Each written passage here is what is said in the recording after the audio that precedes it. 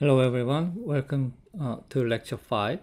Uh, we'll, in this lecture, we'll continue talking about the, um, the contents of chapter 7.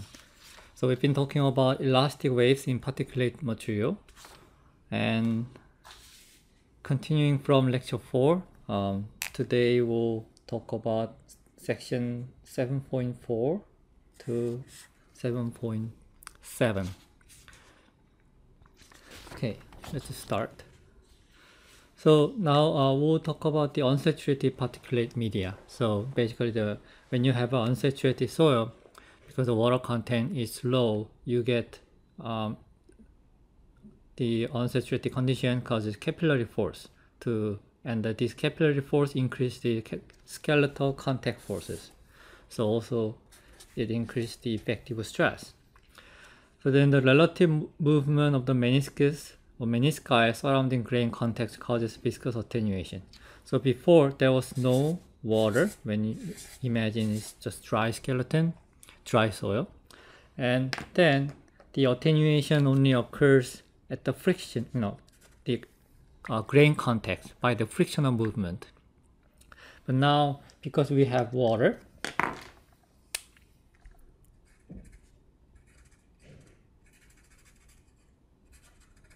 forming the meniscus. So then as the particle moves, maybe like if it's the shear, then the, there's some water also moving together. So the uh, when you think about the P wave, then the um, the water meniscus will have to move together with to the uh, direction of the direction of propagation. So the relative movement of the menisci causes the viscous attenuation because the uh, water will have different density and the viscosity with the uh, from the grain itself. So the attenuation coefficient 1 over q, so over the inverse q, this is as before I said it's a double of damping ratio and it's function of the viscosity of the fluid nu and omega the frequency and the sigma is the confining stress. So as uh, the water is added, it will increase the um, attenuation. And due to the capillary force, the P wave attenuation also increases because of the uh, addition of the water. But the S wave attenuation goes down because it increases the contact force so that it minimizes it. So you get the more confining stress, so damping gets smaller. When the moisture content is less than about 5 to 7%, menisci failure and regeneration can justify the significant energy dissipation. So that happens when the meniscus is very small. So you can think of this picture. So meniscus is very small. So by moving small amount,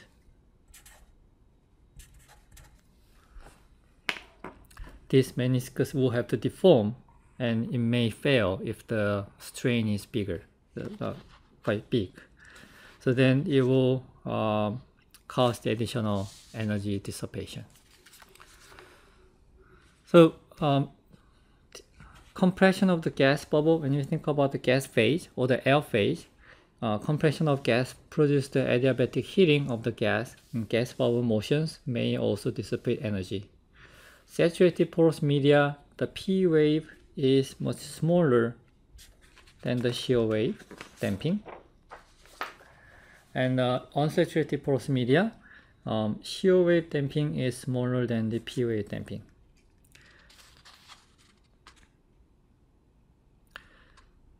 So in the unsaturated media, because the uh, water movement, relative water movement to the uh, grain movement causes the P wave attenuation.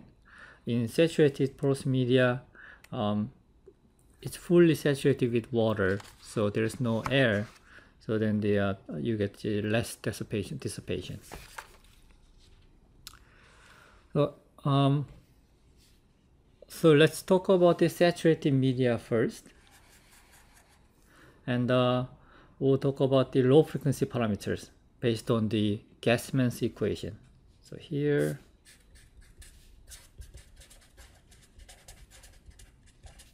Gassmann model or Gassmann equation. It's the famous equation uh, that people use to predict the p wave or the uh, p wave velocity at low frequency. So here uh, we need to define the density of the fluid uh, each phase, density and bulk modulus and uh, shear modulus, and for the grains too, and skeleton, and for the mixture and porosity. So let's look at the fluid first. So um, in fluid, uh, when it's unsaturated or partially saturated, then you have air phase and the water phase in the pore, in the void.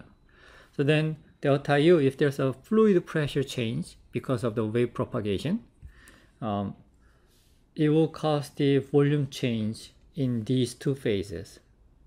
So when we have like particles like this, so then we have water,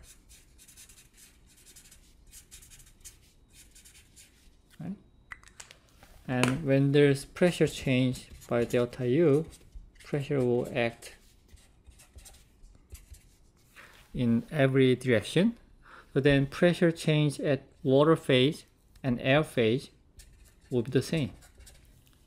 So this means that the water and air does not split, does not split the uh, uh, applied force. So from that sense, um, which one will be better? Which model will better fit on unsaturated condition when there is delta U?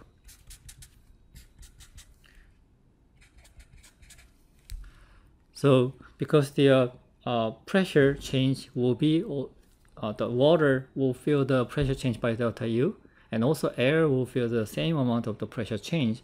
So this will be better fit, the series model. So then if we remember the series model that was K equilibrium was K1 plus K2, right? So based on this assumption or the, this model, we can derive the fluid bulk modulus. Uh, because it's fluid, it doesn't have the shear modulus. Huh? So let's look at the uh, this definition. The fluid bulk modulus is delta U over epsilon V. And here epsilon V will be volume change of the fluid over total volume of the fluid. Right? So then um, this delta VF, so fluid volume change, will be sum of water volume change and air volume change. So then you get this equation, right? Um, and then uh, we can replace this one for each phase air phase and the water phase with bulk modulus of these water and air. How do we do that? Um, because we know that the delta U is B times epsilon V. So if it's air, air, bulk modulus of air times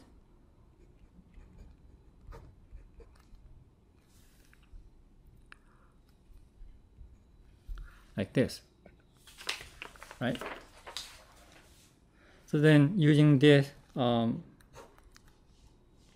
right, write it here. Delta VA, the air volume change, will be air volume times delta U over BA. So bulk modulus of the air. It's gonna be the same for the, um, the, the water too. So if I can write it here, um, fluid bulk modulus will be delta U over this one and VW for the water delta U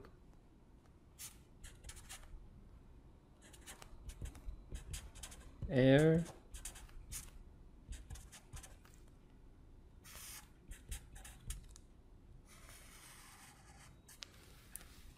like this And if you um, simplify this equation, the final equation will look like 1 over S BW plus 1 minus S BA.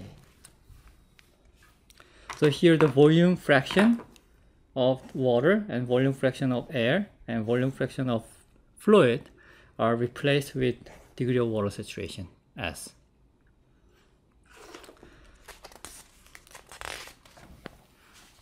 So using this equation, we can uh, exercise uh, to determine and estimate the bulk modulus of the mixture fluid when there's air and water are mixed together. Um, and we can think that we can calculate the uh, fluid bulk modulus when the degree of saturation is 99.9%. percent So we can uh, do this one in in the class.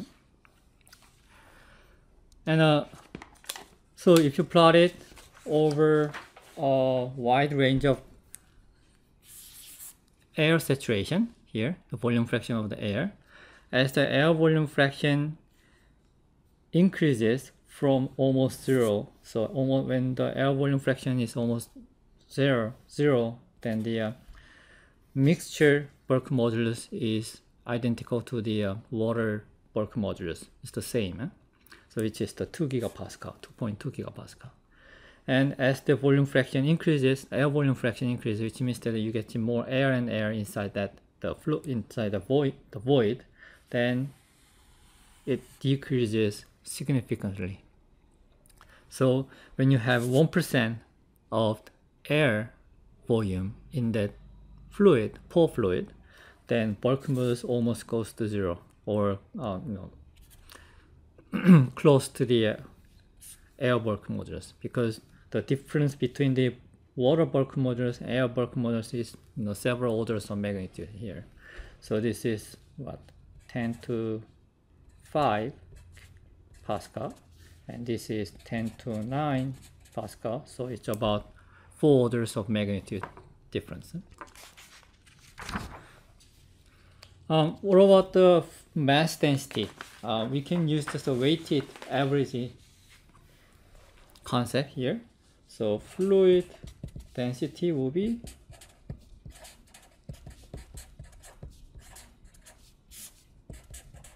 F. So that's gonna be S rho W plus plus or minus S rho A. But we know that the air density is almost nothing negligible. So this becomes degree of saturation times water density.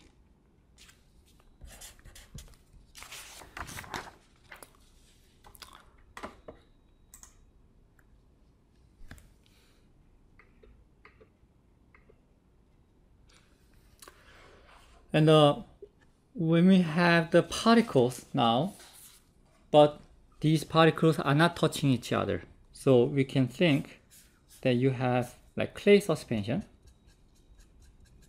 maybe like 5% weight percent uh, weight of clay and rest of them is water. So then it's a clay suspension. Or you can think of like sand floating in water but the sand particles are not touching each other, so there's no skeleton contact. So in this case, bulk modulus of this suspension will be, uh, how can we get this? Um, which model will suit better? So grain, fluid, and grain fluid is this parallel model, series model. Right? So when there's um, here, when there's stress, or stress uh, apply stress or the pressure, grain and fluid will the same amount of force. So we'll use this one. So then B suspension will be 1 over n over bf plus 1 minus n p grain.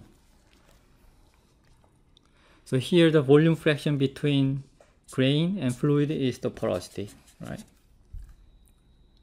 So same concept with the um, degree of saturation. And mass density also is gonna be uh, just weighted average. So 1 minus n rho g plus n rho f. Right? Okay. So then what happens finally when particles comes into contact with each other and granular skeleton carries part of the applied isotropic stress. So now the particles are packed to touch each other. So then when there's stress, delta sigma and delta sigma isotropically, then this delta sigma will be carried by particles and also carried by fluid huh? by increasing the fluid pressure. So here the load is shared or between the skeleton. Which is the effective stress delta sigma prime and the fluid delta u. So basically this is the concept for the effective stress. So if you remember the one that you learned from the uh, soil mechanics total stress is summation of effective stress increase and pore water pressure increase or the pore water pressure change eh? right? So same concept. The bulk modulus of the mixture then what will happen? Because these are shared then now we are going to use series model on the parallel model like this one. So this is going to be this is this will be the suspension phase right? The B suspension. And this will be B skeleton BSK so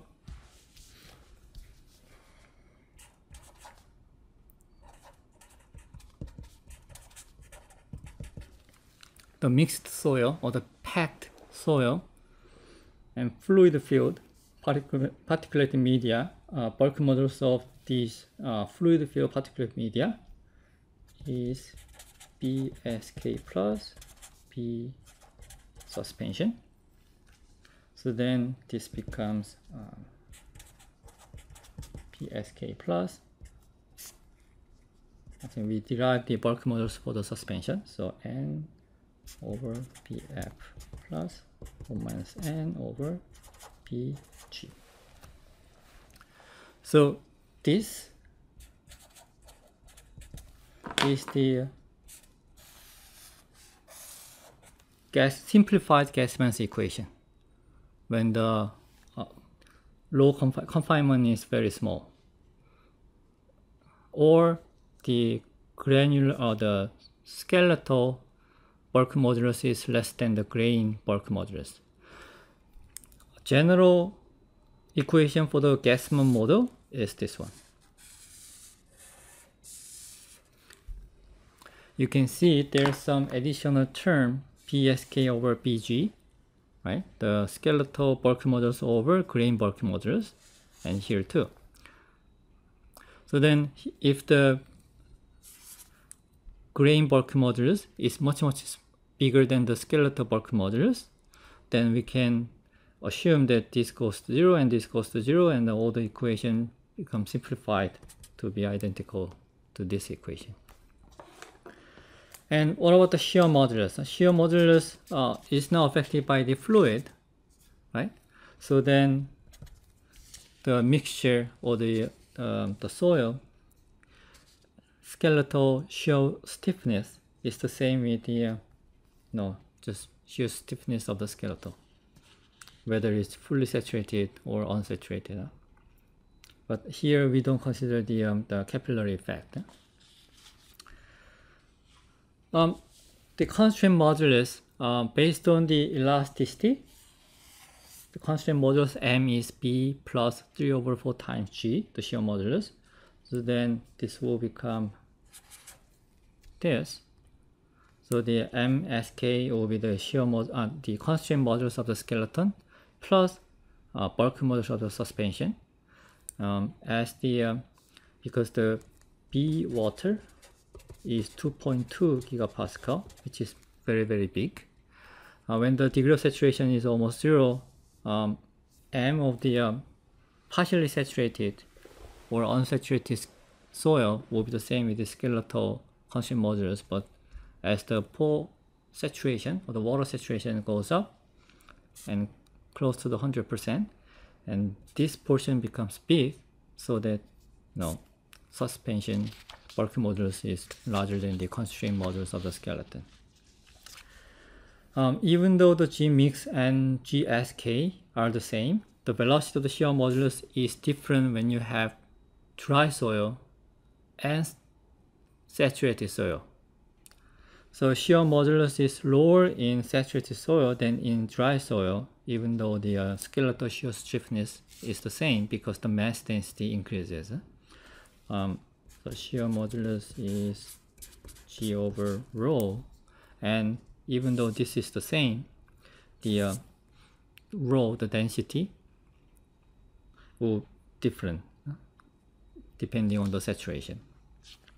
Finally, the equation for uh, bulk modulus of the mixed soil and the shear modulus of the mixed soil do not apply when particulate materials are unsaturated because capillary forces increases the stiffness of the granular skeleton. So here um, we are just assuming there's no capillary effect. Then what about the um, uh, attenuation? At low frequency, local fluid flow or squirting occurs. So because there's some time for water or the fluid, pore fluid can flow during the uh, propagation of the wave. Um, there's some local fluid in, in the pores. Huh? So if the water is here and then it can go you know, squirt to the neighboring pores when the wave is comes. So because the wave propagation is kind of a pressure transfer, right? So it's like a sound. When you have a sound, air pressure changes to deliver this vibration. It's the same in the uh, saturated porous media. So there, this is the predominant energy dissipation mechanism in saturated soil in small strain, and which is the uh, squirting attenuation model or squirt model. We call it squirt model.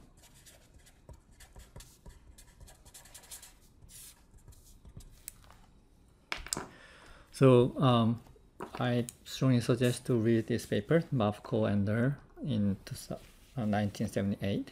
Uh, and here the how fast or what will be the time taken to squeeze out from one pore during the propagation. That's the uh, characteristic frequency, Fs. And characteristic frequency is Bg over viscosity of the fluid. So um, the losses that occur during the P and S wave propagation vary with the degree of saturation.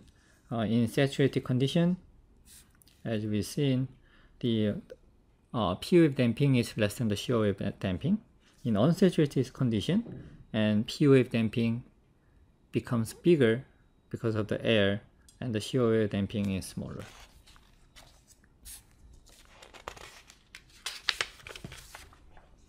Okay, and then the last discussion will be why is low frequency propagation undrained condition. Um, time, let's think about the time for load application versus time for pressure diffusion. So uh, how long uh, water will have to escape from one pore to the other pore uh, when there's pressure coming in. So when there's pressure, uh, pressurized water will like to escape. Um, so then drained loading, undrained loading condition, the T load, use different color. It's much, much smaller than the time for diffusion. in drained loading condition, it's gonna be opposite. Right? And here the time for diffusion is defined or can be estimated using this equation. And here L is representative size of the effective region, or it could be layer thickness or foundation size. Um, so for example, if foundation is L and when there's load stress, um, here the water will, the water pressure will go up, but this will escape? So then diffusion time will be affected by the uh, escaping path, which is the length of the water to escape, and also the uh, pressure diffusion coefficient of this material, of this soil, which is the same with the consolidation coefficient, CV.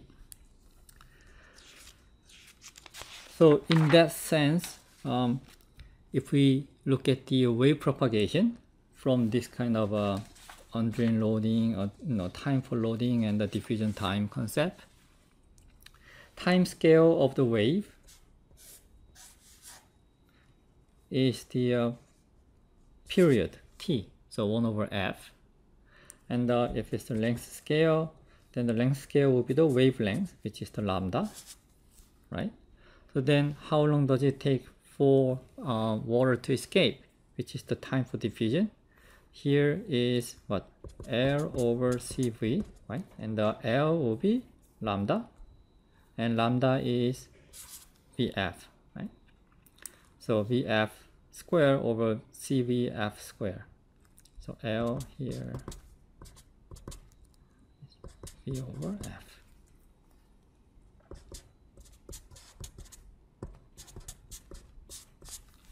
And here I think uh, uh, in the textbook um, they use the uh, 2L, but uh, more or less it's the same. Eh?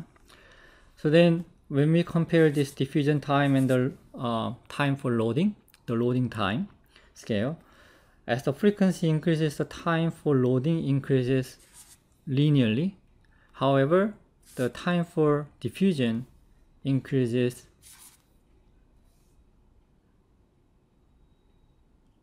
faster at a faster rate because it's a square. So the, the, as the frequency goes down, T diffusion is becomes really bigger than the load. So then this is the undrained condition. At high, uh, at high frequency condition, uh, it's the same. It's gonna be the undrained condition. So, but when the frequency increases like to infinite so much, then the, there will be some time, uh, there will be some point that the uh, it is not anymore the undrained condition. So uh, in section 7.6, we're gonna see the spectral response in saturated media, um, focusing on the high frequency characteristic. So far, we've seen the Gassmann's model that's applicable for low frequency regime. As frequency increases, differential inertial effect causes the relative displacement of fluid with respect to the solid.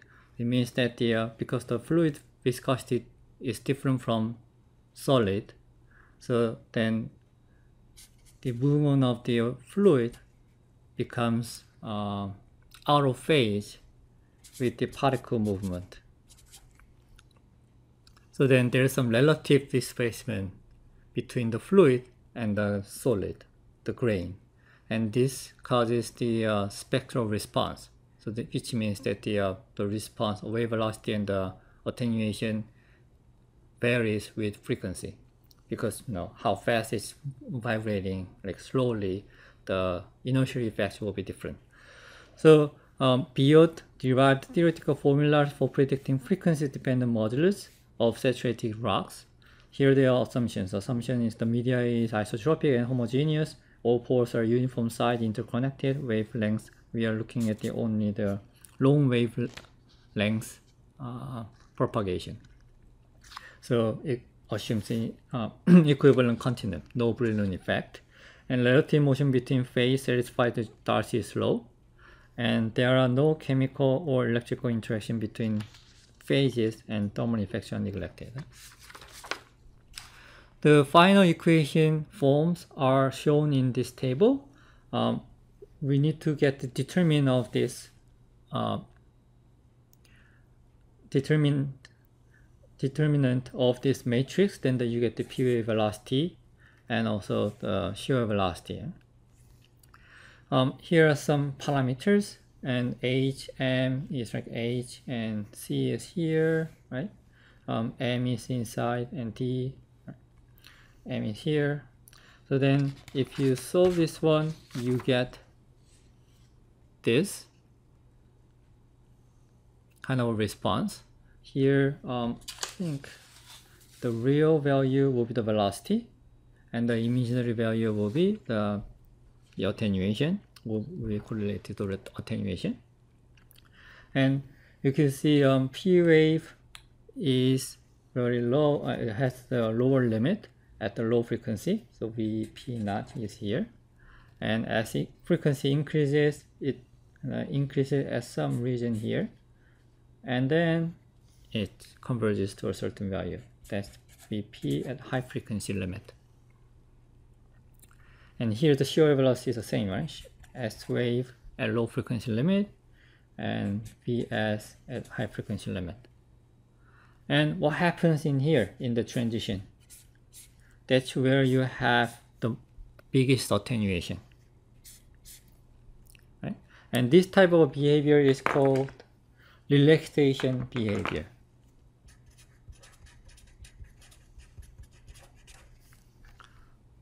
If it's so, there's relaxation behavior and there's a resonance behavior. If there's a resonance behavior, the um, the p wave velocity will go up at resonance and it's gonna go down like this, right?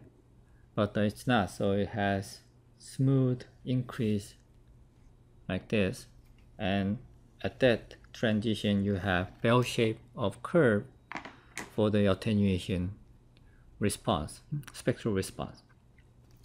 So velocity increases with frequency and the maximum changes occur near the relaxation frequency. So here it's called the relaxation frequency, FR. Low frequency Gassmann limit of the Biot theory and Gassmann solution is adequate for frequency smaller than 10% of the uh, characteristic frequency or relaxation frequency. So if this is the frequency of the relaxation, then if it's one order of magnitude less than that value, then the almost the Gassmann's equation applies. And one thing that you can notice is that there's a P wave, another P wave mode. It's called the slow P wave or second P wave. Um, this one is the fast P wave standard. And the slow P wave attenuates really quickly. Here and uh, it increases to a, a, certain value as, as the frequency increases. Um, it is very difficult to observe, but it increases with frequency. Uh, when you look at the number, p wave velocity is about, is it fast, it's about 1500, right? Or to uh, 1700 meter per second. And shear wave is about 200 meter per second. And p wave, slow p wave starts from 10 or less than that, right? 10 meter per second to like 200 meter per second. So when you try to measure it, it's kind of uh, masked by this shear wave of the tail, like the tail of this shear wave, so that it's very difficult to observe. And also it dies really quickly because of the high attenuation. Here the attenuation value, you know, this is the two times of the damping, and it's about 0 0.5, 0 0.05, 0.05, but the, here you can see that um, the value is like 100 times bigger than the other uh, damping value.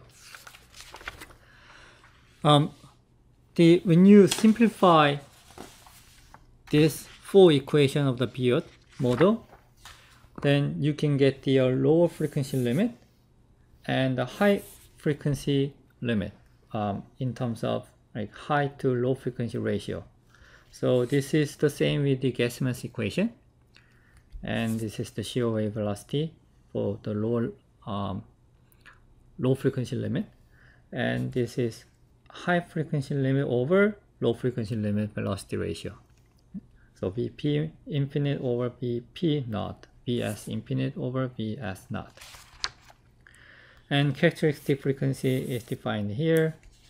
Um, and as I said, the lower limit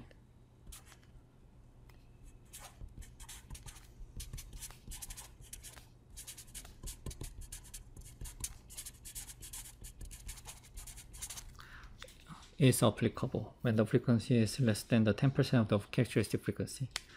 And attenuation is um, can be expressed as a function of the velocity ratio minus 1. Um, so then characteristic frequency, as I said, um, here we saw this one in, in this table. And low frequency velocity, high frequency velocity, and the attenuation increases, the velocity ratio increases. Huh? So this means that um, if you look at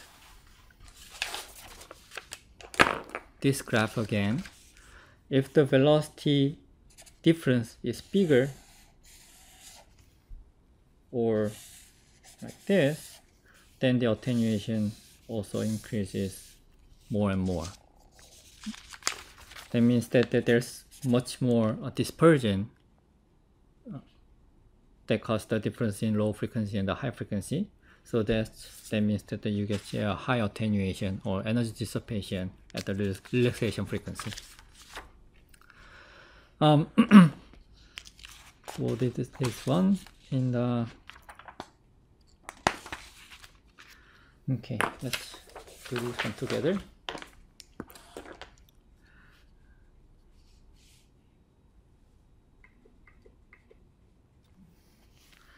So let's get the characteristic frequency using this equation. Um, when we have a clay soil and when we have sandy soil, it will uh, the characteristic frequency will be totally different, and also the wavelength uh, at that characteristic, characteristic frequency. So characteristic frequency here will be uh, for the clay soil, FC will be Ng 2 pi K. Here K is the hydraulic conductivity. So 0.4 times 9.8 meter per square second and 2 pi and 10 to the negative 9 meter per second right? So then um, you know we get the just approximate solution. So then um, this will be a several number uh, number and this will be also like 6 or something. So then this can go and cancel. So it's gonna be 10 to the 9 hertz. So frequency 10 to the 9 hertz. And then the velocity is 200 meter per second. So then we can get the lambda. And here lambda will be 0.2 micrometer from uh, Vs over Fc.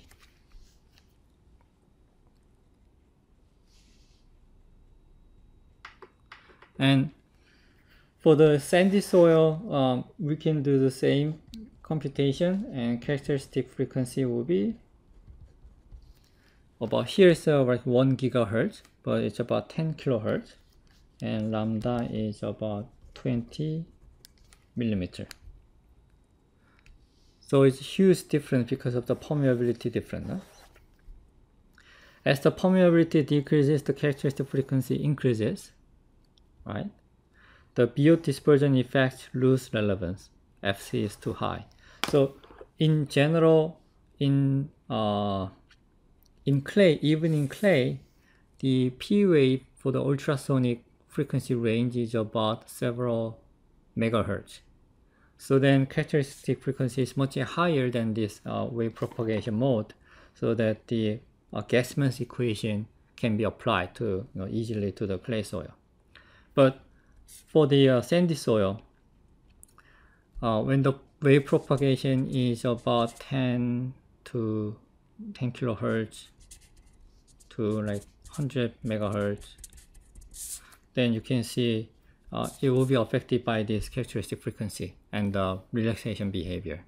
So when you measure the shear velocity at high frequency regime, then uh, you have to look at the, uh, the characteristic frequency and also the dispersion. So because the, uh, the shear wave velocity can change with frequency. Um, but as the permeability decreases, which means that the, uh, as your particle size goes down, the characteristic frequency increases so that the Gassmann equation can be sufficient to model the wave velocity. Wavelength for shear wave approach to the scale of the particle size, if like for, for example here is 20 millimeter, so then um, as the the shear velocity, shear wave propagation at high frequency is affected more by grain scattering effects than by Biot dispersion. So, yeah. And this is about the uh, Brouillard effect. So practical impact of the Biot results for soil. Uh, most near-surface engineering application and the laboratory study can, uh, is affected by the uh, Biot uh, dispersion model. And low frequency, the BP is governed by the fluid bulk modulus. And shear velocity, shear velocity is determined by the skeleton stiffness. That's by the Gassmann's model. At high frequency, when the wavelength is close to the particle size, scattering is uh, dominant and also the internal heterogeneity. But in the other cases, then the, it can, the wave propagation can be assumed to occur in continuum media and uh, the Biot dispersion will affect. Okay, um, here uh, we've seen the effect of porosity and for the P wave, because the fluid bulk modulus is higher than the skeletal bulk modulus, so the porosity changes only cause dispersion about 5%.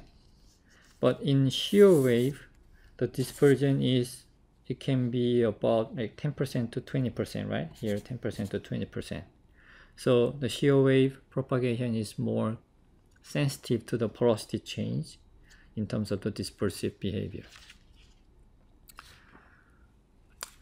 The last section will be the large amplitude excitation and from the soil uh, dynamics, we've seen this uh, shear modulus or the the elastic modulus degradation curve like this as the strain increases.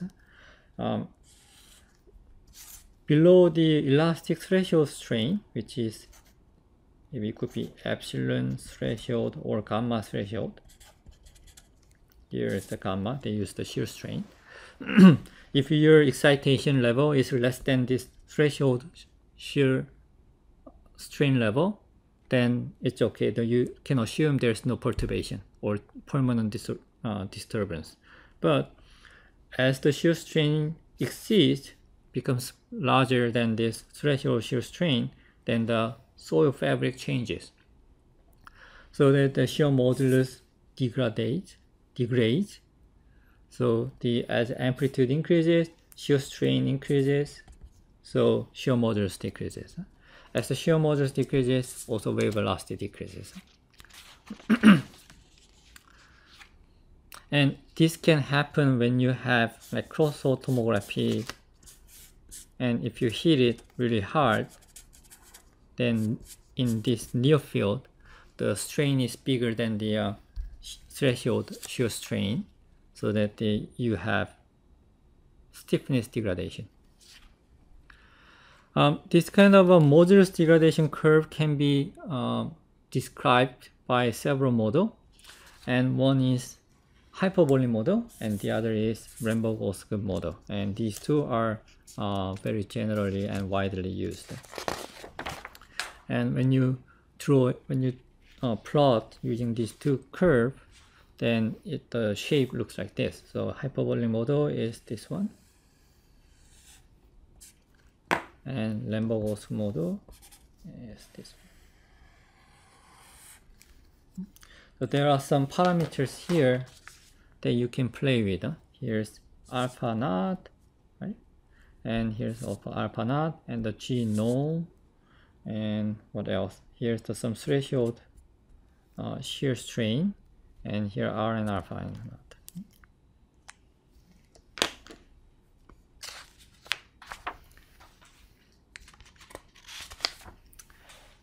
That's all for this lecture 5. Uh, thank you for listening.